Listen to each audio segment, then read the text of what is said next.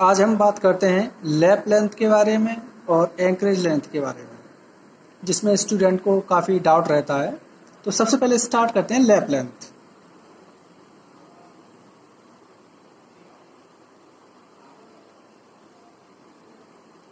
Lap length, इसको overlapping length भी बोलते हैं।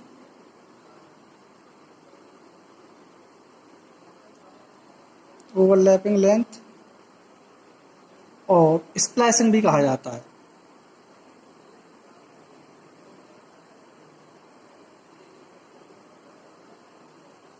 और स्प्लाइसिंग भी कहते हैं, स्प्लिसिंग या स्प्लाइसिंग भी कहते हैं।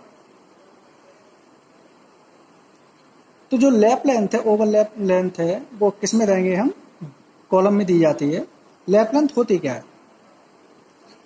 जब भी हम किसी भी स्ट्रक्चर को या कॉलम को बनाते हैं तो जब भी हमें किसी भी कॉलम को और ऊपर तक लेके जाना पड़ता है और हाइट तक लेके जाना पड़ता है, लेकिन जो हमारी सरिया कंपनी से बन के आती है, उसकी लेंथ होती है ट्वेल्व मीटर। तो इसको हम पार्ट में डिवाइड डिवाइड कर लेते हैं। पाँच मीटर, सात मीटर या तीन मीटर के ब्रेक में टुकड़ों में हम इसको डिवाइड कर लेते हैं। ठीक है? अब ओवरलैपिंग हम कहाँ देंगे?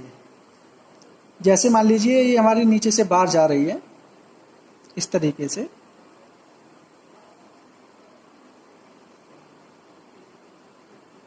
अब इस बार के ऊपर हम ओवरलैपिंग देंगे तो यहाँ इस तरीके से एक बार आएगी, और यहाँ इस तरीके से, और इस तरीके से हमारी, यहाँ लैपिंग हो जाती है। तो यहाँ पर जो लैप लेंथ हम काउंट करेंगे, इस वाले पोर्शन को हम कहेंगे जॉगल इस पोर्शन को क्या कहेंगे? Joggle J O double G L E ये पोर्शन हमारा कहलाएगा जॉगल और यहाँ से लेकर के यहाँ तक की जो डिस्टेंस होगी, ये डिस्टेंस ये हमारी डिस्टेंस कहलाएगी लैप लेंथ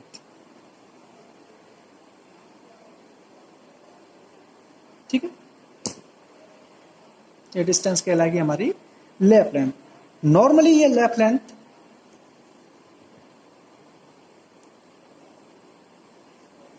नॉर्मली जो इसको रखा जाता है, वो रखा जाता है 55 55 फाइव है यहाँ पे diameter of bar dia of bar अब यहाँ पे जो हम बात करेंगे सपोज़ मान लीजिए जो हमारी जो नीचे से वार आ रही है उसका डायमीटर है 20 एम mm, और जो हमने ओवरलैपिंग की है इसका भी मान लीजिए डायमीटर है 20 एम mm. यहाँ पे एक बात ध्यान देनी है जहाँ जो हमारी नीचे वाली बार है उसका डाया भी हमारा 20 एम mm है और जिसकी हमने ओवरलैपिंग की है उसका डायामीटर हमारा 20 एम mm यानी दोनों बार का डायामीटर हमारा सेम है। इस कंडीशन में जो हमारी लैप लेंथ होगी वो नॉर्मली हमारी 50 फाइव फिफ्टी इंटू यहाँ पे हमने जो फाइव लिया वो कितना है? ट्वेंटी एम एम ट्वेंटी कितना हो गया हमारा? वन थाउज़ेंड एम तो यहाँ पे जो लेप लेंथ होगी हमारी, वो मिनिमम कितनी होगी? वन थाउज़ेंड एम एम ठीक है? अब कंडीशन नंबर टू अब कंडीशन हमारी दूसरी आती है कंडीशन टू ये हमारी कंडीशन होगी फ़र्स्ट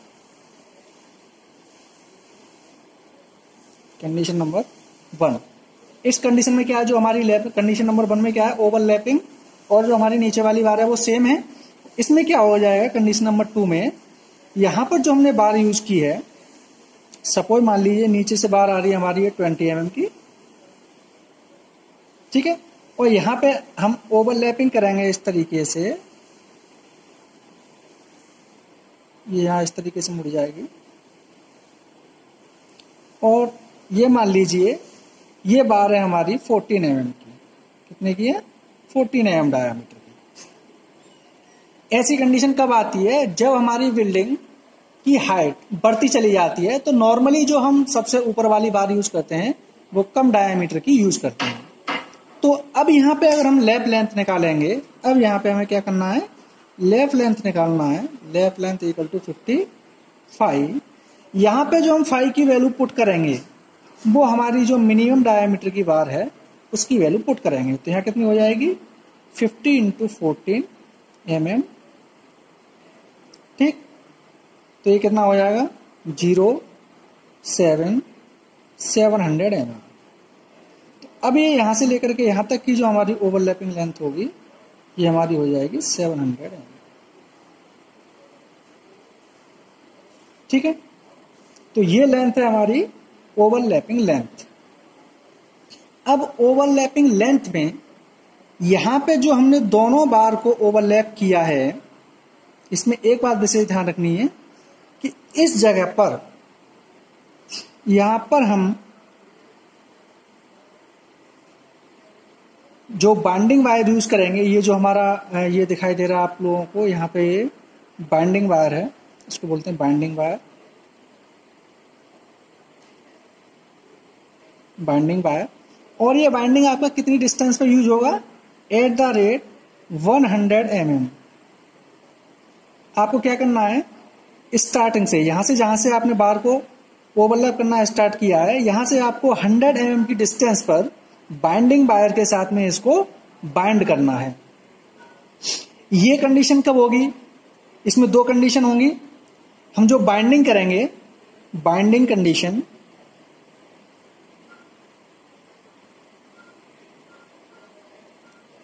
बाइंडिंग कंडीशन और लैपिंग कंडीशन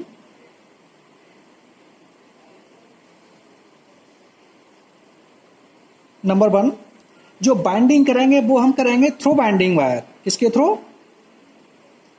बाइंडिंग वायर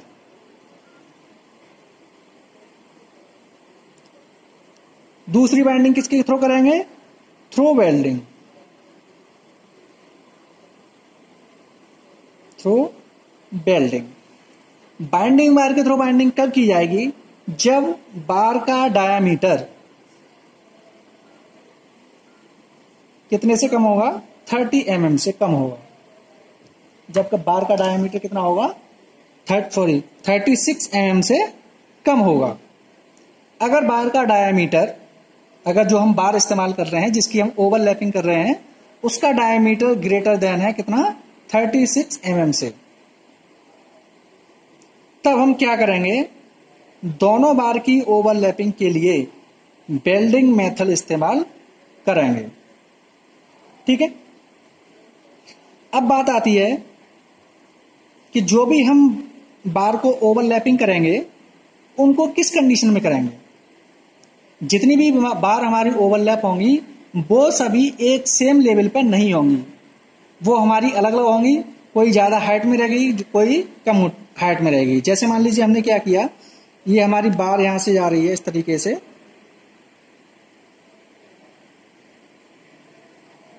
ठीक है? ये हमारी बार है।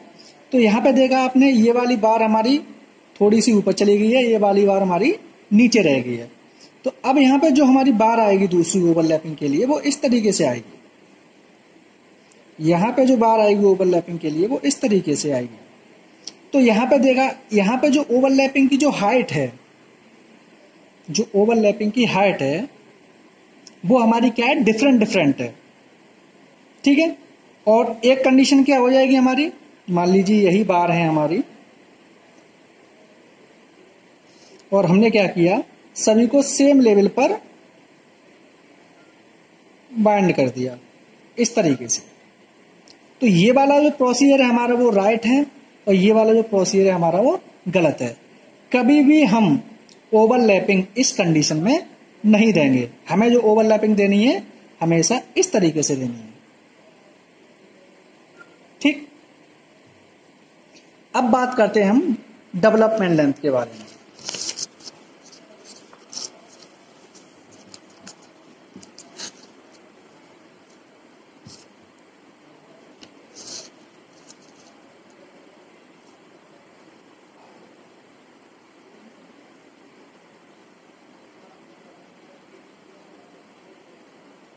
डेवलपमेंट लेंथ इसको हम एंकरेज लेंथ भी बोलते हैं। डेवलपमेंट लेंथ और anchorage length anchorage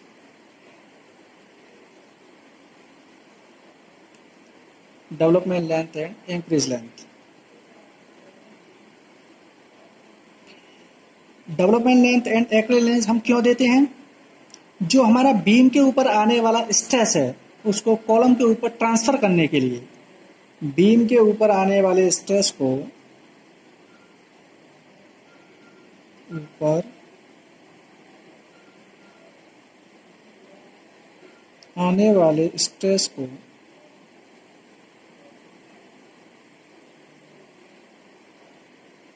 कॉलम पर ट्रांसफ़र करने के लिए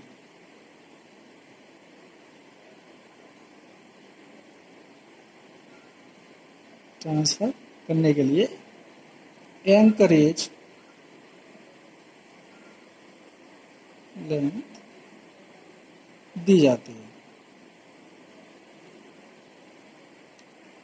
ठीक है? अब इसमें बात करते हैं। ये हमारा कॉलम है और ये बीम है। इस तरीके से बीम जा रहा है। या हमने इसमें ब्रेक लाइन शो कर दी।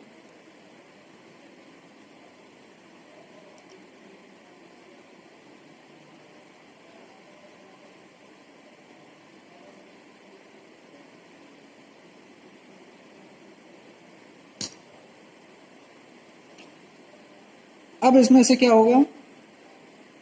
बीम में हमारी बार लगी हुई होंगी। ये जो ऊपर बार दे रखी हैं, इनको बोलते हैं कंप्रेशन बार।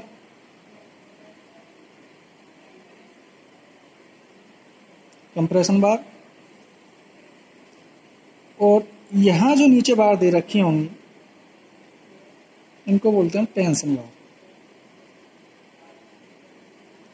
ठीक है? सपोज़ मान लीजिए हमारी कंप्रेशन बार है, ये हमारी 16 एम डाया की। ठीक? और यहाँ पे जो नीचे टेंशन बार है, ये हमारी 20 एम डाया की। 20 एम डाया ये हमारा बीम दे रखा है, मान लीजिए 500 हंड्रेड एम का।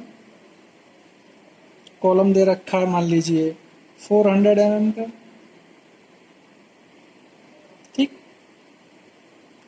और जो हम कवर देते हैं कॉलम में नॉर्मली जो कवर दिया जाता है कॉलम कवर वो आपका दिया जाएगा फोर्टी एम एम कॉलम में जो नॉर्मल कवर दिया जाता है, वो दिया जाता है फोर्टी एम अब यहाँ से फोर्टी एम का कवर छोड़ने के बाद में, जो हमारी ऊपर वाली कंप्रेशन बार है उसको नीचे की तरफ़ बेंड कर दिया जाता है। ये जो कंप्रेशन बार है, यहाँ से हमने क्या किया? ये 40 एम mm का कवर छोड़ दिया। 40 एम mm. ये हमने कवर छोड़ दिया और इस बार को नीचे की तरफ़ बेंड कर दिया जाएगा। और ये जो बार है हमारी, जो नीचे टेंशन वाली बार है, इस बार को ऊपर की तरफ़ बेंड कर दिया जाएगा। इस तरीके से।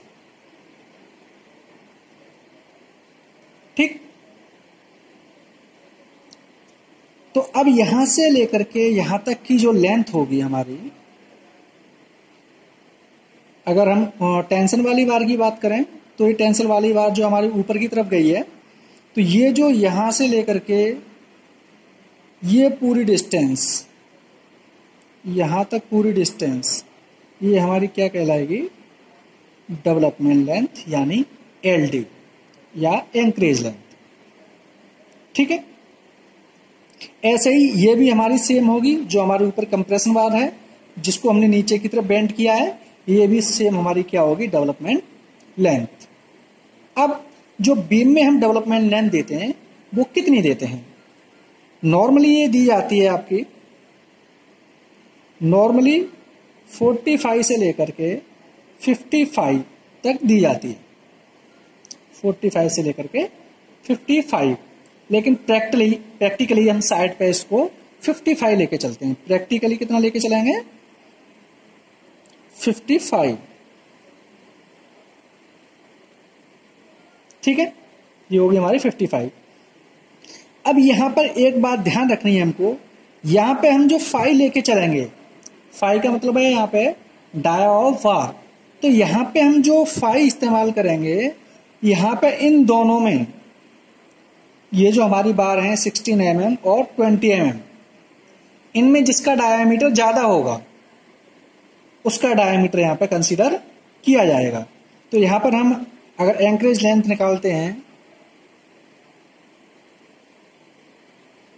equal to fifty five fifty into five यहाँ पे कितना ले लेंगे हम? ट्वेंटी एम एम फाइव कितना लेके चलेंगे? ट्वेंटी एम एम तो यहाँ पे कितना हो जाएगा हमारा? वन थाउज़ेंड एम एम ठीक है? तो यहाँ पे वन थाउज़ेंड एम में अब जो हमने यहाँ पे डिस्टेंस लिया है, वो किस किस तरीके से नहीं जाएगी? अब यहाँ पे हमने जो कॉलम लिया है, वो कितने का है हमारा? Four four hundred M M का। और यहाँ पर जो हमने कवर लिया है, ये वाला जो कवर है, वो कितना हमारा? चालीस एम का। तो हमारी यहाँ से लेकर के यहाँ तक की डिस्टेंस कितनी हो गई? ये डिस्टेंस कितनी आ गई? वो कितनी आ जाएगी हमारी? 400 हंड्रेड माइनस के 40 तो कितना आ जाएगा? 360 ये डिस्टेंस आ गई हमारी 360 सिक्सटी एम ठीक? बाकी अब यहाँ से लेकर के यहाँ तक की कितनी डिस्टेंस रहेगी? ये डिस्टेंस हमारी कितनी हो जाएगी? तो वन थाउज़ेंड में से क्या करेंगे हम?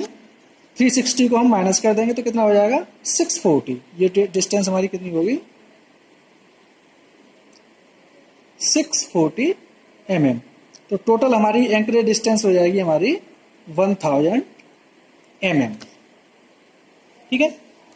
जनरली जो आर्किटेक्ट द्वारा डेवलपमेंट लेंथ और जो एंकरेज लेंथ ड्राइंग में शो की जाती है, वो दोनों लगभग सेम ही होती हैं। तो कंपरा चाहे हमारा वो डेवलपमेंट लेंथ के केस में हो या लेप लेंथ के केस में हो नॉर्मली हम उसको 55 ही आर्किटेक्ट द्वारा इस्तेमाल की जाएँगे। जनरली ये ड्राइंग में दे रखा होता है। तो ये दोनों कंसेप्ट जो बताए थे डेवलपमेंट लेंथ के ऊपर और एंकरेज लेंथ के ऊपर तो ये सब लोगों को अब क्लियर हो गया होगा। अब इसमें एक बात आप लोगों को विशेष ध्यान रखनी है कि जो हमारी लैप लेंथ है और डेवलपमेंट लेंथ है इसमें जो हमें ओवरलैपिंग देनी है, पहले केस में जो हमारा लैप लेंथ था, उसके केस में जो हम ओवरलैपिंग देंगे तो जो हमारा लैपिंग जोन होता है लैपिंग जोन जैसे मान लीजिए कॉलम के केस में अगर ये माना जाए, ये कॉलम की मान लीजिए हाइट है हमारी एल या एच कॉलम की हाइट है एच ठीक? अब कॉलम के टॉप से ये जो डिस्टेंस होगी वो एच वाई फोर पर और कॉलम के बॉटम से भी डिस्टेंस एच वाई फोर पर।